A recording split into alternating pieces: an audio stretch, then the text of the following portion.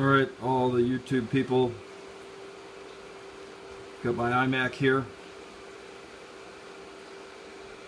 Got it turned on. I opened it up and placed the battery on the motherboard.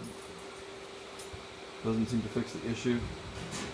I got the fans on, as you can hear. Fans are on. But nothing's booting up. Do we have any ideas? Could that still be a power supply issue with the computer? All I have in there is the power and this little piece that runs my mouse. I've taken all of it out. I've tried to start it the same way.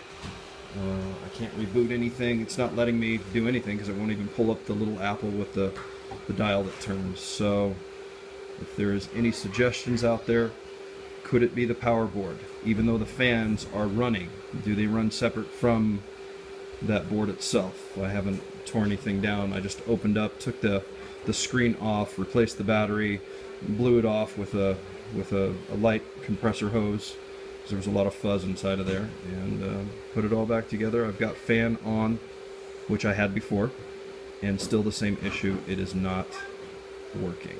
So, ideas, suggestions, etc. Thanks, guys.